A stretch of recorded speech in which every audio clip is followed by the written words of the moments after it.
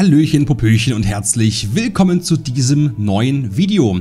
Heute sprechen wir über gigantische Veränderungen des Handels, des Fracht- und Wirtschaftssystems von Star Citizen, über das Jahr 2022 und über persistente Hangars. Lasst also gerne ein Abo für mich da, wenn ihr euch für Star Citizen Themen interessiert und wir starten direkt hinein. Schnallt euch am besten an, denn es ist wirklich extrem umfangreich. Das aktuelle Frachtsystem, welches wir nun seit der Alpha 3.0 mehr oder weniger haben, funktioniert ja so, dass uns die im Shop gekauften SCU-Kisten direkt in den Frachtraum ja statisch hinein teleportiert und beim Verkauf auch wieder heraus teleportiert werden. Wir können damit also nicht interagieren, wir können sie auch nicht verschieben oder umstellen oder sonst irgendwas damit tun und wir können sogar durchlaufen in den meisten Fällen. Auch bei Explosionen von Schiffen wurde das bisher nur getrickst, sodass nur ein kleiner Teil der Fracht umherflog und eben nicht nicht die eigentlichen Container, die die äh, ja, Explosion überlebt haben. Damit ist aber bald Schluss, denn in Zukunft soll es ein völlig neues Frachtsystem geben, was modern und auch zukunftsorientiert funktioniert, um die Vision dieser Mechanik weiter auszubauen. Alle Frachtcontainer werden dann physikalisch innerhalb des Frachtraums stehen, sind beweglich, können also auch geklaut werden und interagieren mit dem persistenten Hangars, zu denen wir dann im Detail nachher noch kommen. Das neue System wird sich auch auf die Art und Weise auswirken, wie wir unsere Schiffe be- und entladen und wie Frachtmissionen funktionieren. So, wie läuft das? Also, CRG unterscheidet erstmal zwischen Warencontainern, welche unterschiedlichste Arten von Handelswaren enthalten können, und Inventarcontainern, die wiederum Items enthalten, wie zum Beispiel Waffen oder Rüstungen. Da beide mit dem Frachtgitter unserer Schiffe interagieren, werden wir also auch beide gleichermaßen verladen und handeln können. Das erlaubt auch die Plünderung von anderen Schiffen sowie den Verkauf illegaler Waren von anderen Spielern oder NPCs, wenn wir dort nämlich in die Schiffe reingehen und denen die Boxen einfach klauen. Denn die Lokalisierung der Gegenstände wird nicht mehr statisch festgelegt, also an das Eigentum des Käufers des Accounts quasi gebunden, sondern an den Ort dieser Fracht, also je nachdem welcher Spieler gerade im Besitz des Containers ist sozusagen. Um es vielleicht mal ganz kurz äh, und knapp auszudrücken, es ist mehr oder weniger wie im Real Life. Wir verladen unsere Schiffe beispielsweise mit dem Traktorstrahl per Hand und entladen sie auf die gleiche Weise. Egal ob Handelswaren oder Lootkisten, werden sie von uns also manuell platziert, was dazu führen wird, dass wir auch platzsparend stapeln müssen, um den Frachtraum voll auszunutzen. Wir können selbst bestimmen, was wohin kommt, was dann wieder beim Entladen wichtig sein wird, um nicht so viele falsche Waren vorne stehen zu haben, sondern eben die richtigen Waren, die man jetzt gerade ausladen will. Und wann immer wir auf Piraten treffen, werden sie uns unsere Fracht streitig machen können, also uns ausrauben und damit ein tatsächliches Piraten-Gameplay spielbar bekommen. Es bedeutet aber auch, dass unsere Mitspieler mit entsprechender Erlaubnis unsere Waren verwalten können und somit das Multicrew-Gameplay im Frachtbereich an Wichtigkeit gewinnt. Immerhin dürfte es ja auch wirklich schwierig werden, hunderte SCU alleine in eine Caterpillar oder eine Hercules zu verladen. Diese neue Frachtmechanik gilt dann übrigens auch für die Erztaschen der Prospector oder Argo Mole, denn im Unterschied zum bisherigen System, in dem Frachtkisten oder Mining-Container nur als Grafik dargestellt werden, handelt es sich eben bei dem neuen System um echte Entitäten, also um physische Objekte, die entsprechend benutzt und verwaltet werden können.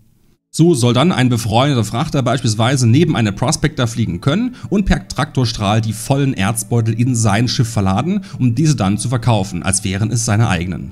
Und auch hier werden wieder Piraten in das Gameplay finden, denn auch sie können gleichermaßen, nur dann eben ohne Erlaubnis, ein Mining-Schiff entsprechend ernten können. Wie diese Säcke dann wiederum leer zurückgebracht werden zur Prospector, wird hier noch nicht gesagt, aber möglich, dass man sie einfach mit dem Interaction-Menü anstecken kann. Aufgrund der Tatsache, dass es sich bei den Frachtcontainern um physische Objekte handelt, können diese dann zukünftig auch beschädigt werden und sollen ebenso wie Schiffe einer Abnutzung unterliegen. Wird ein Schiff gesprengt, kann also auch der etwaige Schaden an jedem einzelnen SCU-Kistchen spezifisch simuliert werden, was dann die Piraten beispielsweise dazu bringen soll, ihre Gegner eben doch nicht zu zerstören, sondern auf anderen Wegen ins Schiff zu gelangen, die ja weniger tödlich sind, weniger explosiv sind, um einfach möglichst viel Profit mit den Waren machen zu können. Also auch das ist ganz ganz im Sinne der Permadeath-Mechanik für später.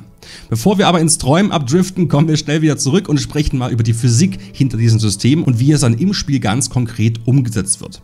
Um eine Frachtbox ins Schiff zu bringen, wird mit dem Actor Feature Team zusammengearbeitet, um mehrere Möglichkeiten anzubieten. Neben der Option, einen Container mit der Hand in den Frachtraum zu tragen und diese dort abzulegen, wird es auch mit dem Traktorstrahl gehen. Es sollen aber auch Trolleys zum Einsatz kommen, sowie später noch andere Verladehilfsmittel, um größere Kisten oder eben auch größere größere Mengen auf einen Schlag zu transportieren.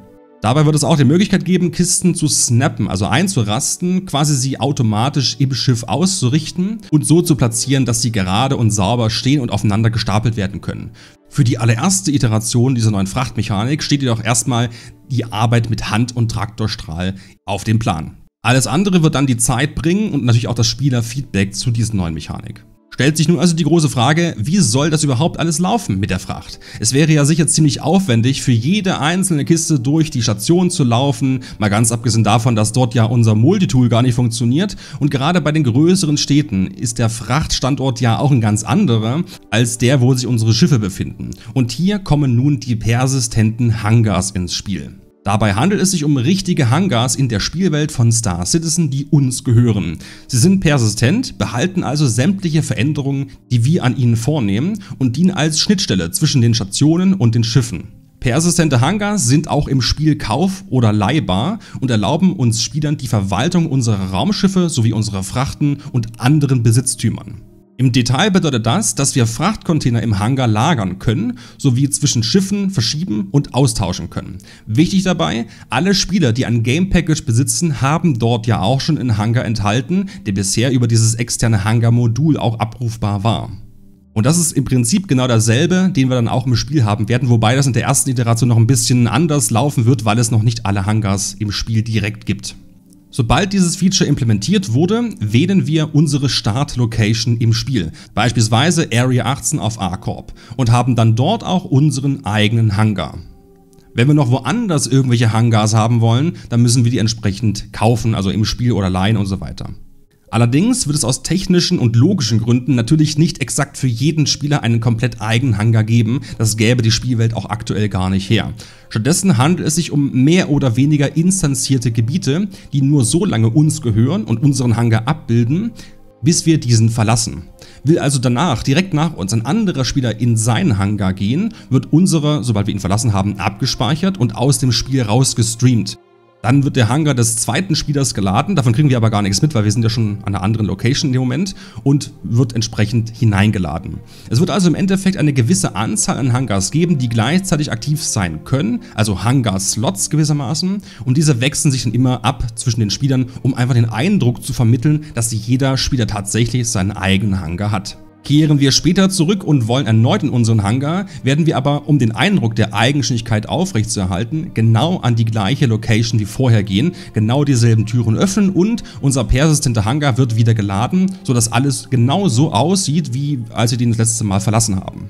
Kurz gesagt, wenn du Hangar Nummer 17 auf A-Corp besitzt, dann wirst du auch immer zu genau diesem Hangar 17 gehen und es fühlt sich für dich als Spieler ganz normal an, als wäre, das, als wäre der quasi nie weg. Und gleichzeitig kann aber CRG auf diese Weise Tausende oder Millionen von Spieler parallel handeln. Mit der Zeit wird sich noch zeigen, das sagt jedenfalls CRG, ob sie mit der Vergrößerung von Locations und dem Ausbau der Städte und so weiter und so fort äh, diese Instanzierung zurückfahren. Step by Step, werden sie es wahrscheinlich nie ganz rauskriegen, aber möglichst, also sie wollen möglichst wenig von so einer Instanzierung, von solchen Tricksereien haben. Äh, das wird aber erst die Zeit zeigen.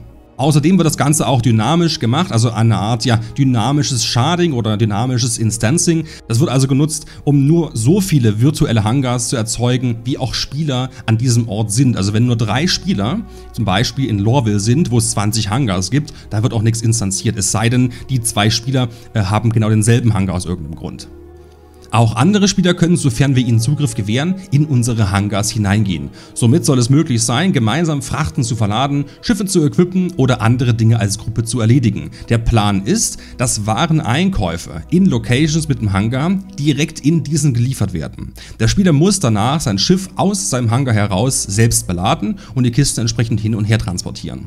Falls ein Spieler keinen Hangar besitzt, kann er sich einen mieten. Es soll aber auch temporäre Hangars geben, um etwaige Probleme mit diesem System System abzufangen oder auch Quest-Hangars. Wenn man beispielsweise eine Handelsmission macht, bekommt man also so einen Quest-Hangar, wo schon die Waren vorbereitet stehen und nur noch verladen werden müssen. Beim Ausladen funktioniert es dann übrigens ganz genauso, denn Verkauf wird nicht mehr aus dem Schiff, sondern aus dem Hangar. Wir verladen also unsere Fracht aus dem Schiff in den Hangar und verkaufen sie dann.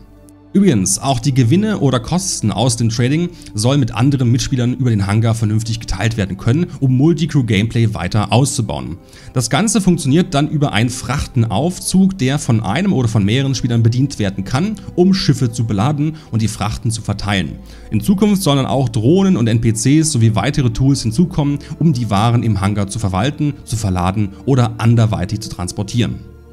Auch Cargo Decks, ein Feature, was vor langer Zeit schon implementiert wurde, aber bis heute ziemlich nutzlos ist, sollen eine kleine Rolle beim neuen Trading-System spielen, aber mit Abstrichen. Nämlich als Dreh- und Angelpunkt für den Kauf und Verkauf der Waren. CRG hat sich mittlerweile vom ursprünglichen Gedanken getrennt, diese Cargo Decks als eine Art Bazar zu nutzen. Denn eigentlich war geplant, dass Spieler bestimmte Flächen im Cargo Deck mieten können, um dort zu landen und entsprechend einzukaufen oder zu verkaufen und die Schiffe zu be- und entladen haben. Durch die persistenten Hangars entfällt dieser Nutzen nun und es wäre ohnehin nicht wirklich gut gegangen, da der Platz einfach nicht ausreichend wäre und eine Instanzierung dort nur schwer möglich ist. Insofern kann man sagen, ist das Cargo Deck Feature für sich gescheitert und wurde nun umgedacht und in die Hangars integriert. Die Zukunft wird dann zeigen, was Cargo Decks darüber hinaus noch für eine Rolle spielen können oder ob sie im Zweifel sogar grundlegend verändert werden müssen, vielleicht sogar durch was anderes ersetzt werden. Stellt sich nur also die große Frage, wann kommt der ganze Kram? Wie sieht es generell aus mit Trading, Shopping und auch dem Verkauf von irgendwelchen Items? Also, das Verkaufen von Gegenständen soll erst im Dezember kommen. Darin inbegriffen sind offenbar auch Schiffskomponenten sowie Raumschiffe selbst. Geplant ist, dass jeder Shop auch die Items wieder kauft, die er selber verkauft hat, halt zum geringeren Preis. Wir müssen also nur dorthin gehen, um die Objekte zu verkaufen, was über ein neues UI gelöst wird. Persistente Hangars sowie alles, was dazu gehört, steht für Patch 3.17 im März 2022 auf der Roadmap, auf der Release View. Das neue Frachtsystem ist noch gar nicht auf der Release View zu sehen, steht aber im Progress Tracker bis November. Möglich also, dass wir bereits im Dezember Patch, also Alpha 3.16, das neue Frachtsystem erleben können in einer etwas kleineren Version und die Hangars dann nachgeliefert werden. Es könnte aber auch sein, dass beides zusammenkommt, nämlich erst nächstes Jahr im März. Und sicher wollt ihr bei all diesen Infos zum Trading und zum Thema Fracht auch gerne wissen, ob es ein generelles Rebalancing der Wirtschaft in Star Citizen geben wird. Immerhin ist das aktuelle Trading ja, ja weniger als ein schlechter Witz und aufgrund der geringen Mengen und schlechten Preise quasi inexistent. CIG sagt hier, dass sie sich darüber bewusst sind, was ich übrigens lustig finde, aber dazu gleich noch ein bisschen mehr. Und dass es natürlich immer ein Risiko ist zu handeln, pipapo, man braucht also immer ein bestimmtes Kapital, um überhaupt sinnvolle Mengen zu kaufen, hat dann das Risiko, überfallen zu werden oder weggeschossen zu werden und so weiter und so fort. Es soll also auf jeden Fall preisliche Veränderungen geben, vielleicht auch schon mit dem Quanta-System sowie Mengenänderungen stattfinden. Es soll größere Container geben, anstatt nur diese ein Unit oder ein SCU-Einheiten und es soll möglich sein, auch riesige Mengen zu verwalten, ähnlich wie man das von Börsen kennt. Mehr Details gibt es hier von CRG zumindest erstmal nicht, sind wir mal gespannt, wie sich diese Änderungen auswirken. Einen kleinen Blick in die Zukunft geben sie uns dennoch, denn das Trading wird in Zukunft auch im Rufsystem verankert, was bedeutet, dass auch Händler und Lieferanten bei Fraktionen aufsteigen und bessere Belohnungen sammeln können. Generell soll das Jahr 2022 ganz im Sinne der Wirtschaft, des Quanta-Systems und des Tradings stehen. Insofern können wir mal davon ausgehen, dass da noch jede Menge auf uns zukommen wird. Zum Thema Trading kann ich euch aber noch ein bisschen mehr sagen, denn ich habe mich schlau gemacht und habe noch ein bisschen äh, geschaut. Und es gibt einen Beitrag äh, im Spectrum, den verlinke ich euch auch hier unten im angepinnten Kommentar, der der ganzen Trading-Problematik, der aktuellen, mal auf den Zahn fühlt. Denn es scheint sich tatsächlich um ein grundlegendes Problem, um einen Bug zu handeln. Ich will euch das ganz kurz erklären, aber wer es äh, nochmal ganz genau nachlesen will, der kann einfach den Link anklicken und mal im Spektrum lesen. Das Trading ist seit Alpha 3.12 verbuggt. Und das einzige, was sich am Trading mit Alpha 3.12 geändert hat, ist folgende Tatsache, nämlich, dass das Trading jetzt serverübergreifend funktioniert. Das heißt, Früher hatten wir auf jedem Server einen eigenen Warenpool und die Refreshs der Shops und so weiter. Und das ist jetzt serverweit. Kauft also auf irgendeinem Server, auf dem wir selber gar nicht sind, irgendein Spieler bei irgendeinem Außenposten eine Ware X und wir sind zum selben Zeitpunkt auch auf unserem Server an dieser Location und wollen dieselbe Menge kaufen, dann konkurrieren wir quasi miteinander. CRG hat hier erstmal vergessen, die Refresh-Raten entsprechend hochzudrehen, denn es streiten sich ja jetzt nicht mehr 50 Leute maximal um dieselben Waren, sondern Tausende. Das ist aber wohl gar nicht das Kernproblem. Das Kernproblem kommt von einer anderen Sache, nämlich, dass die Shop-Inventars in den einzelnen Servern grundsätzlich leer spawnen. Also wenn ein neuer Server geöffnet wird, weil neue Spieler ins Spiel kommen und es sonst keinen Platz mehr gäbe, wird ein neuer Server, ein virtueller Server kreiert. Das, das kennen wir ja. Und auf diesem Server, sobald er quasi aktiv wird, sind alle Shops im Spiel erstmal leer und beginnen sich zu refreshen. Das Problem an der Sache ist, dadurch, dass alle Server miteinander verbunden sind beim Trading, teilen sie sich auch die gesamten Warenmengen auf. Und das heißt, dass das gesamte Inventar der Shops, also serverweit, entsprechend fällt, weil wir haben ja jetzt plötzlich einen weiteren Server, der aber leere Shops hat. Mit anderen Worten, jedes Mal, wenn ein virtueller Server neu geöffnet wird, was ständig passiert, werden alle Shop-Inventars auf allen Servern gewissermaßen gelöscht. Das Ganze ist übrigens keine reine Theorie und nur reine Spekulation. Das wurde getestet und hat sich sogar bewiesen, denn es gibt ein paar wenige Waren, die aus irgendwelchen Gründen immer mit dem vollen Shop-Inventar spawnen. Also wenn da ein Server neu entsteht, dann ist diese eine Ware grundsätzlich quasi voll da in dem Shop. Und genau diese Waren sind es, die grundsätzlich immer gut getradet werden können, weil sie in rauen Mengen vorhanden sind.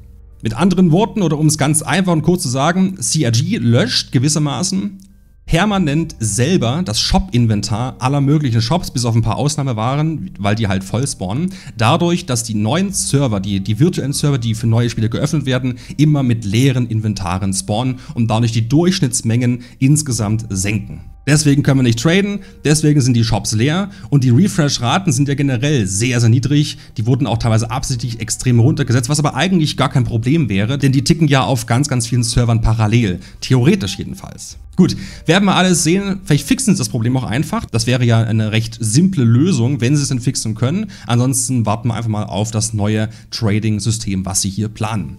Was meint ihr zu alledem? Freut ihr euch auf mehr Trading, mehr Persistenz und vor allem mehr haptisches Gameplay mit Container und Co?